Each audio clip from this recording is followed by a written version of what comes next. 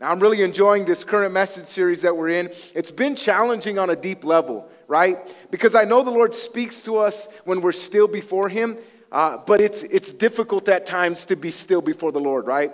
And so it's been challenging in that sense. Not only that we would be still before the Lord, but that we would be patient before the Lord. Patience, right? He is working, and we must trust His purpose and his process in our lives, as we're waiting it out, as we're being still, as we're holding on, as, as, we're walking in that moment where we just try to slow down a little bit, we, we have to trust that God is working out His purpose, His plans in our lives, right? We have to trust that. We have to believe that. And sometimes, I'll be honest, sometimes I say, Lord, do I really trust you? Do I really trust you? Because right now, if I'm to be honest with my own heart, you know, in those moments, I'm saying, God, I don't know if I trust you because I, I, I'm struggling through this, right? And, and so that's part of our humanity. But at the end of the day, we have to know that he is not human, right? He's not a man that he should lie. He is indeed working out his purpose, his plans for our lives. And so last week we built on the idea of being still and being patient by talking about being filled with God's Spirit and his fruit. We can be filled with many things in life, right?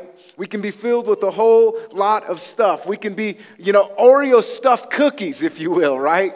But at the end of the day, everything we consume, everything we fill our hearts with, our minds with, our bodies with, is all will all fall short unless we are filled with God's Spirit, with the Holy Spirit, and allow His fruit to flow from our lives. And that was our takeaway simply last week was to be filled, to be filled with God's Spirit to be filled with his fruit. And at the end of the day, none of us want to be full of it, right?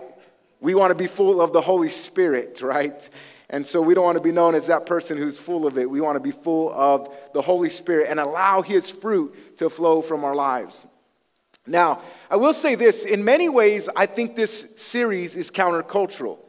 But when I say that, in all reality, in many ways, I realize that Christianity is counterculture. Like it's not, like it doesn't go with the, the norm. And I know there's a lot of people who kind of want to believe or hope that, like, you know, we live in a, a Christian nation or that, that somehow we're going to align our politics with our theology and everybody's going to agree. And, and what I would say to all that is like, not going to happen. Uh, you know, Jesus didn't come to establish his kingdom on earth, he came to proclaim the kingdom of heaven on earth. Amen. And so, the, at the end of the day, what we realize in all of that is that Christianity is countercultural. And that not only is it countercultural, but this series definitely has been countercultural because we do not like to be still and we do not like to wait. Right? We don't like to be still, we do not like to wait. And so, at the end of the day, this again is countercultural. In fact, I would say this it's easy to fill our hearts and our lives with a ton of content and completely set aside the instruction of the Lord to be filled with the Holy Spirit and to allow His fruit to flow from our lives. We live in a culture that is bought into the notion, and listen to this. We, we live in a culture that's bought into this notion of, you know, busy and hurry and consumption are the keys to happiness. Listen to that. Let that settle in. We, bought, we live in a culture that's bought into this idea that busy, hurry, and consumption are the keys to happiness. We consume mass amounts of food. Well, maybe you don't, but I do. Uh, like, we consume mass amounts of food, right? You, you know, don't you hate that they put calories on everything you eat now? Like, especially at, you know, restaurants, you go like, what? You know, 2,000 calories, man, that's like, what? That's like my whole day's worth of food in one meal. And I'm just at breakfast, baby, like this. We got the whole day ahead of us. You know what I'm saying? Like, don't put that there. I don't want to know. I just want to eat it, right?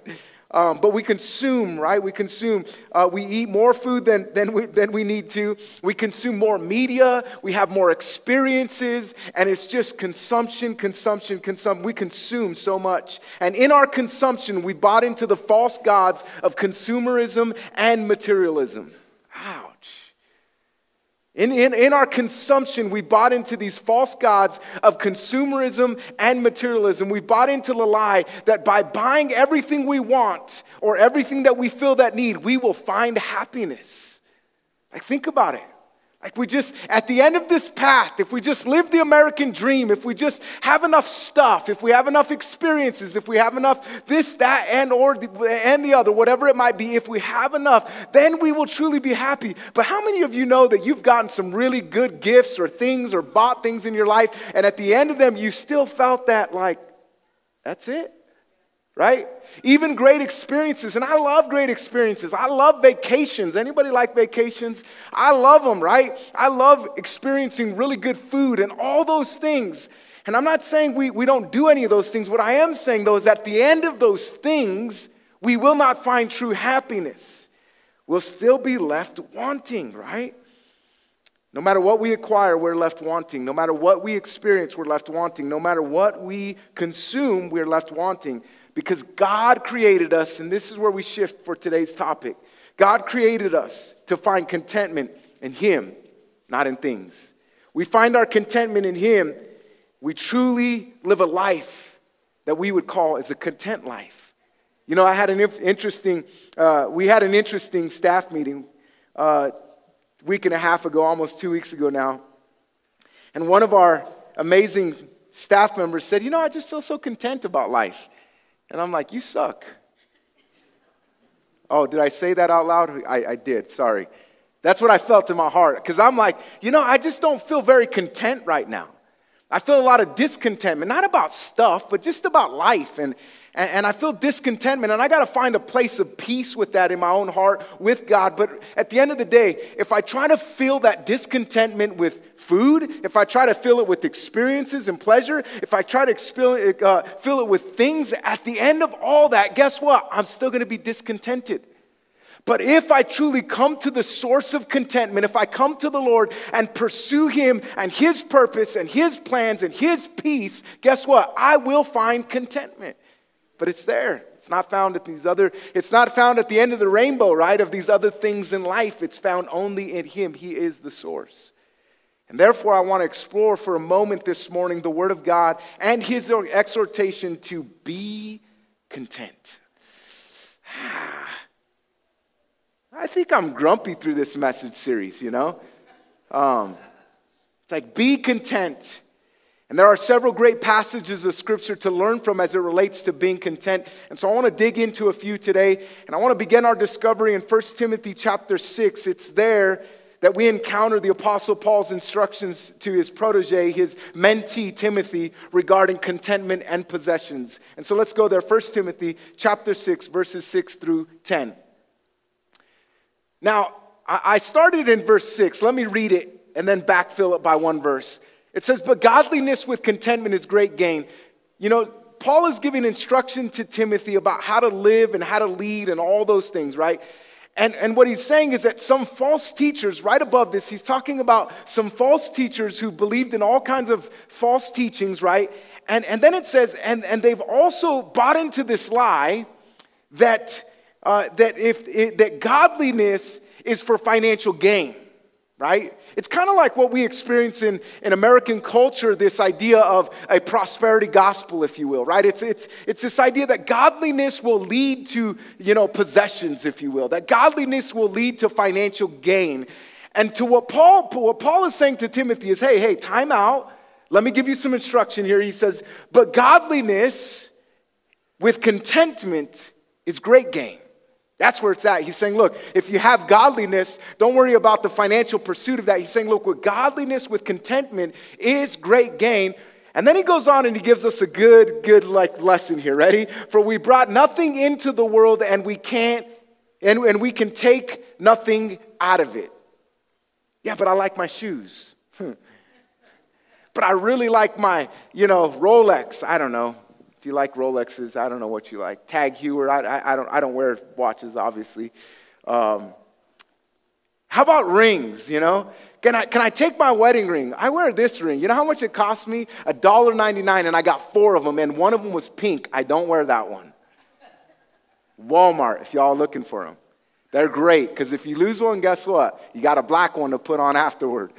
So, The bottom line is this for we brought nothing into the world and we can take nothing out of it. We're only passing by on this life. For just a short season, we're going to be here and we want to enjoy it, absolutely. But guess what? We can't take any of our stuff with us. I think it was my brother who, many years ago, he was preaching here as a guest, uh, one, and he said, You know, you can't take your credit score with you to heaven. And I'm like, Yeah, but I got a good one. You know?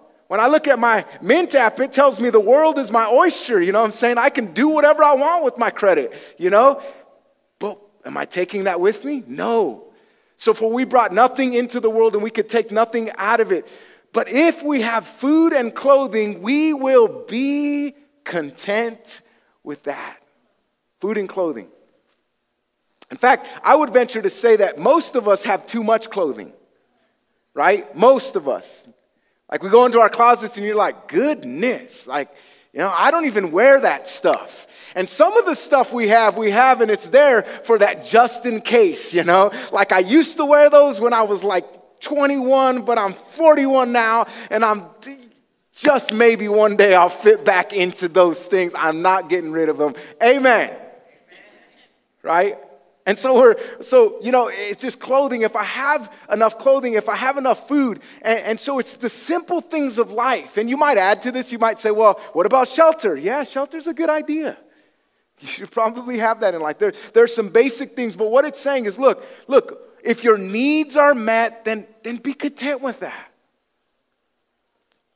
Live in contentment. Be content with those things then it goes on and it says in verse 9 those who want to get rich fall into temptation and a trap and into many foolish and harmful desires that plunge people into ruin and destruction. Ouch! Slow that one down and read it again. Any entrepreneurs in the house, you're looking at one. And I'm like, okay, well, you know, I'm into things. I like doing stuff and I like having small businesses and creative exploits and this and that and the other. And, and you know what I realize is that it complicates my life. My life is complicated because of those things, right? And so when I read this, it's not like I'm reading it and saying, hey, you online, pay attention. It's like, hey, Paul, look in the mirror and realize that you're complicating your life. And so those who want to get rich fall into temptation and a trap. What's the trap? It's the trap of more and more and consumerism and, and, materialism. And I just need more stuff. And because at the end of more stuff, I just trapped in here that at the end of all these things, guess what? I'm going to finally feel content. But it's a trap. It's a trap. It's like a, it's like a, what do they call them? A, a, a Chinese uh, handcuffs or finger trap thing, right? It's like you get in there and you're like, I just need more, I need more. Wait up, I can't get out. Right? And so it's a trap. Those who want to get rich fall into temptation and a trap and into many foolish and harmful desires that plunge people into what? Ruin and destruction. How many of you read a headline about somebody who was really wealthy that found himself in ruin and destruction? Now let me just let me just side note here. God's not against wealth. In fact, I'll probably repeat this God's not against wealth, He's against wealth having us. God is not against possessions and stuff. He's against possessions and stuff having us. And so when we realize that our contentment is not found in stuff, it's in Him, guess what? He can give us stuff because stuff's never going to have us. Amen. And so those who want to get rich fall into temptation and a trap and into many foolish and harmful desires that plunge people into ruin and destruction. For the love of money is the root of all kinds of evil. When I was a kid, I'll never forget, you know, I had a friend, Weddle. Remember Weddle?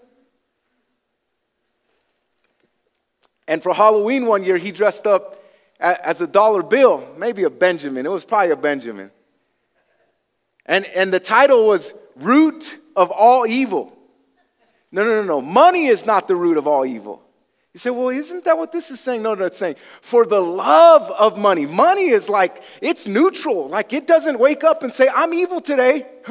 It's just neutral. It's our desires. It's the human desire. It's the pursuit and the love of money that, that creates all kinds of evil. When you look at the ends of the earth and you look at all the evil, it has to do with money. It has to do with oil. It has to do with drugs. It has to do with the pursuit of all these things, wealth building things that really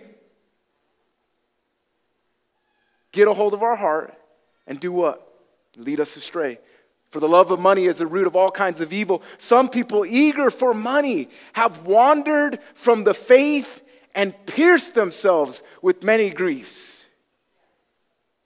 Mo money, mo. Whew. That's Bible. because for the love of money is a root of all kinds of evil. Some people eager for money, they've wandered from the faith, they've forgotten the faith. They went in pursuit of money, they went in pursuit of business. And, and I don't think that there's a problem with having business in our hearts and in our lives. I don't think there's a problem with being a business owner, with having your name on a. That, that's not what, don't get it confused. But he's saying, look, many wandered from the faith and they pierced themselves with many griefs because they pursued, again, all of those things. And the Apostle Paul as he writes to Timothy, gives him this valid, this, this powerful instruction.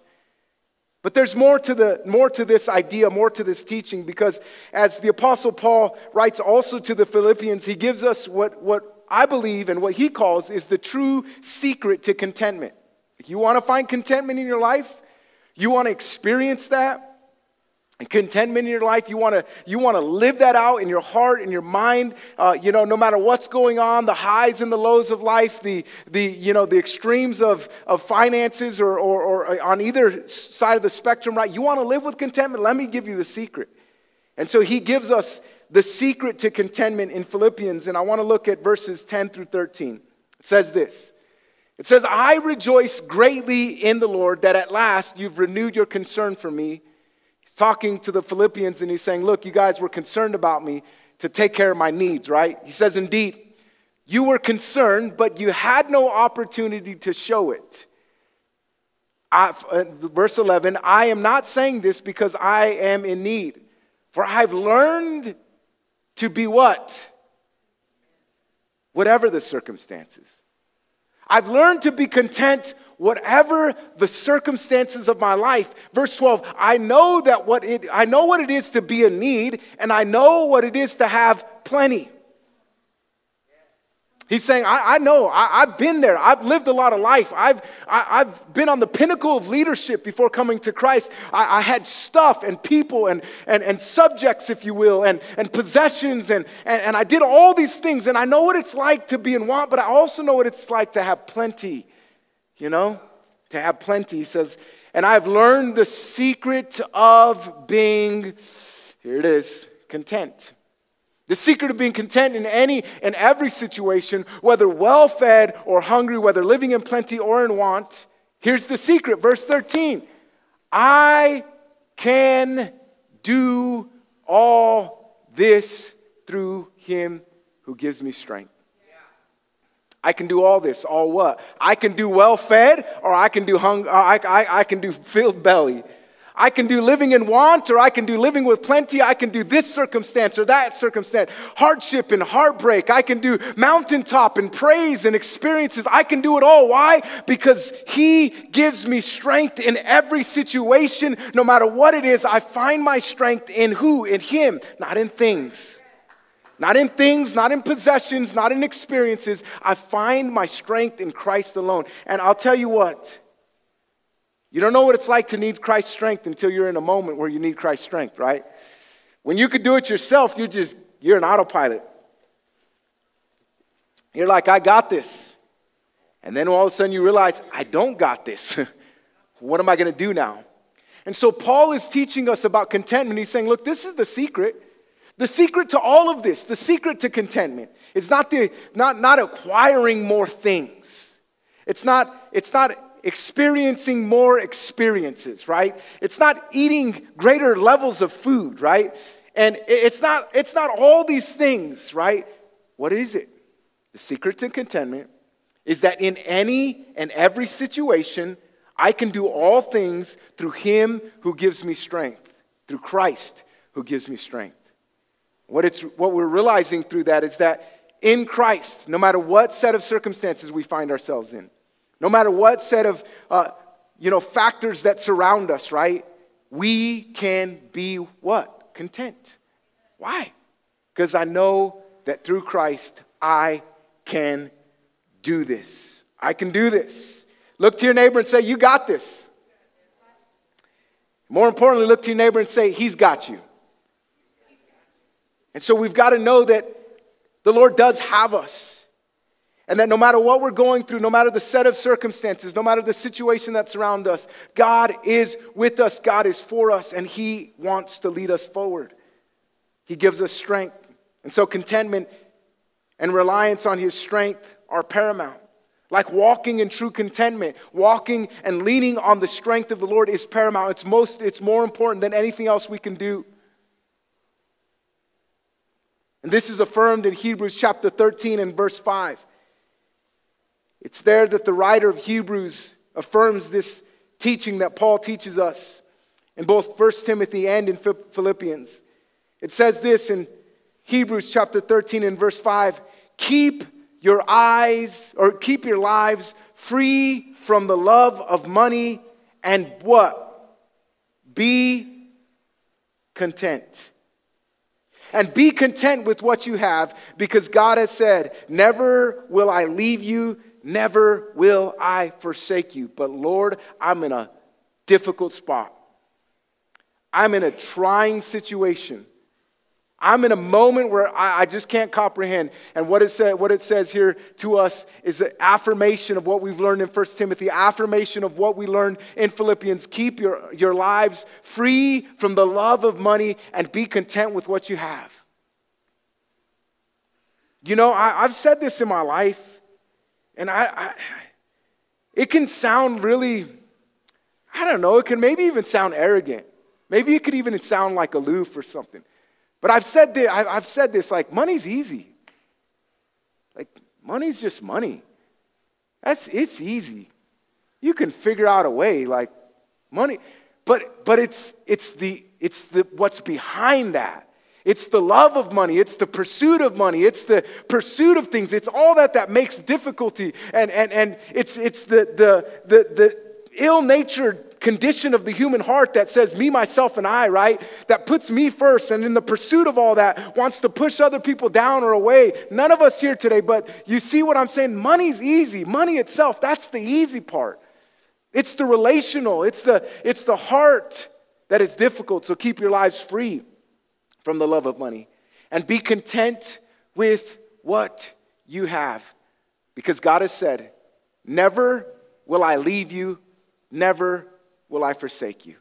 So, what we know is that in all things in our lives and everything we pursue and all that we're going through and all the difficulties uh, or financial hardships or financial decisions, it doesn't necessarily have to be a hardship, but a decision that you have to make in that moment. You have to realize God's not going to leave me.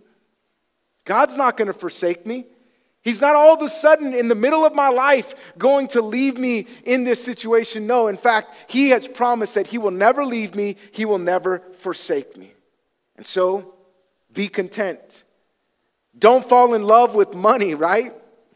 And don't be overly concerned about your needs. God's promise to you and I today is that He will never leave us, He will never forsake us. And in fact, when we even read on, it says that in Philippians, it says that God and my God will supply all your needs according to His riches. And so, what we know is that God's riches will provide for us. I don't know how that always works. But sometimes, you know, the reminder of Jesus was look at the, you know, sparrows and look at the lilies, uh, uh, uh, you know, the flowers of the field. Are they worrying about things, you know? Matthew chapter 6. Are they worried and trying to figure this all out, or are they simply trusting in the God who created them? As I prepare to close, I think about one more thought, you know. My neighbor Stan, he's on vacation right now. And uh, it's nice, I guess, retirement. You know, you take four week vacations. And, in, and then my daughter's feeding the wild birds and providing, you know, not only food for them, but water for them. And so every couple days she goes over there. And, and he says, You know, I, I don't know, and they're just wild birds, but, you know, I really like to feed them. I said, Oh, that's great, Stan, you know. And he's like, Well, you know, um, I don't know if they really rely on me or not, but I make sure I put the feed out there. And so, what I do know to that is that in any case, it's the Lord who provides.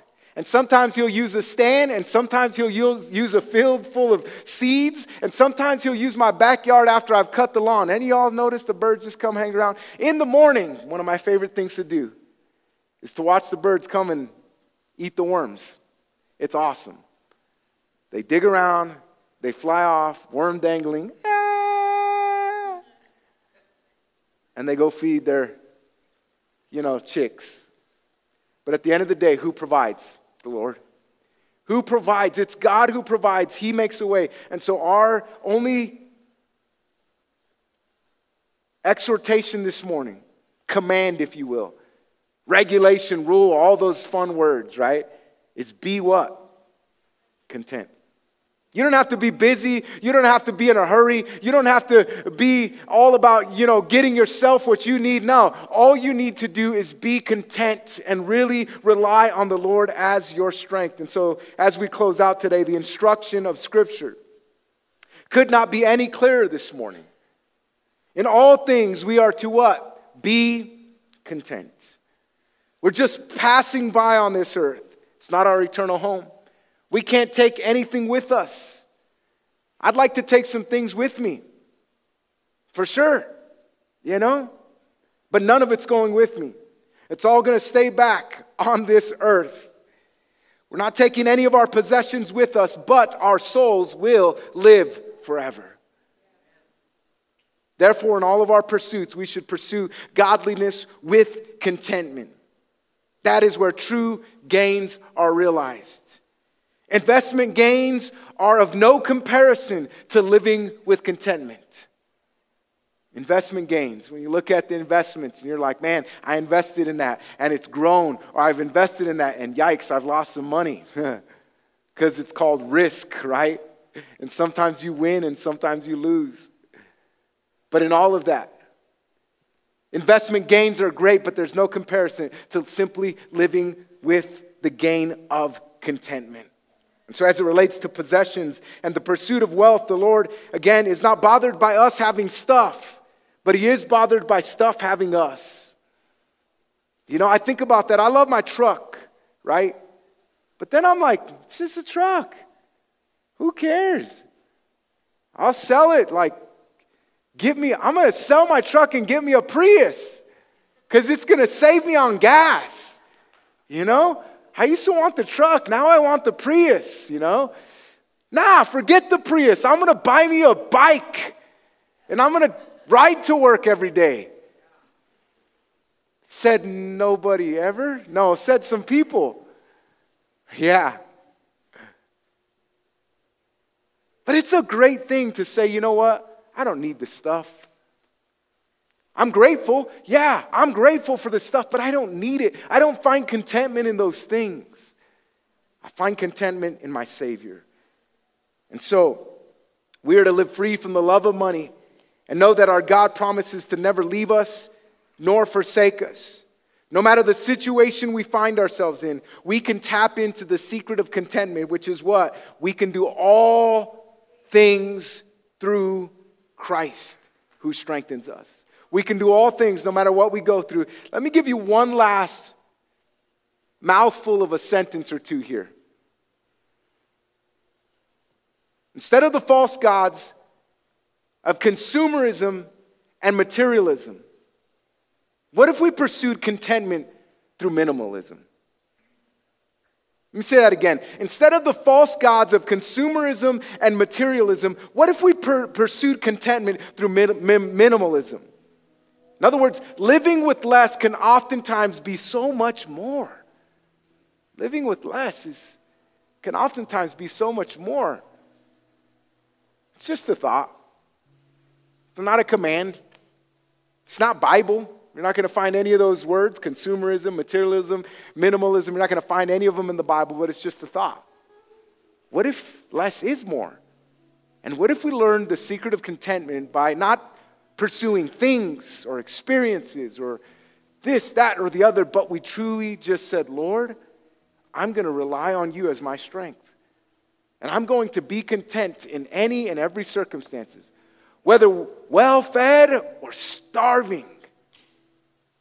Whatever it might be, I want to be content. And so, Father, we thank you for your word today. And I truly believe it's challenging in a culture that we live in that is so in focused on things, on stuff, on comparisons. God, I pray this morning that through this message, through this series as we're learning to be still and be patient and be filled. And today, as we're learning to be content, God, I pray more than anything else, we would truly learn what it is to be content. And that we wouldn't find our contentment at the end of some imaginary rainbow, but that we would find our contentment in you and in the strength that you give us, God. With everyone reverencing God for a moment, if you're watching online, if you're in this building today and you say, Look, I don't really, I'm struggling with contentment. I'm going to tell you right now the one place that you're going to find contentment, where it starts, is in a relationship with Christ. And so you can pursue all these other things. But without that, you will constantly be searching and seeking for the rest of your life. You will spend your entire life looking for the answer to contentment. But I'm here to tell you today it's in Christ and Christ alone. So if you've yet to commit your life to Christ and you want to do that today, I want to give you the opportunity right now to do that. So if you're online and you say, That's me, would you hit the like button? Would you let us know? If you're in this building, would you be so bold to say, That's me? Would you lift your hand right where you're at and say, That's me? God sees your hands. God sees your hands. And now I'm going to ask everyone listening to the sound of my voice would you repeat a simple prayer of faith with me today? Would you just say, Jesus, today, you are my source. I'm tired of living life my way with my pursuits. I look to you to find contentment, to find peace, to find salvation. I confess you as my Lord on this day. And it Can we just thank God for his those that are responding and, and what he's doing in our hearts? And would you stand with me?